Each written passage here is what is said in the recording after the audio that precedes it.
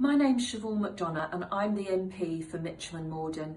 And for the last 23 years I had the great privilege of being the MP for the late Shirley Denson, the campaigner for British nuclear test victims and for her late husband, squadron leader Eric Denson, to campaign to get the efforts of all those involved in the Christmas Island and British nuclear testing recognised uh, by the British government.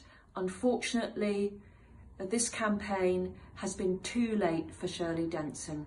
She died before the government would agree to giving her late husband the Queen's Medal. So I ask, let the government, let Boris Johnson look them in the eye and say that they are not worthy of an award for all their efforts support the British nuclear test victims.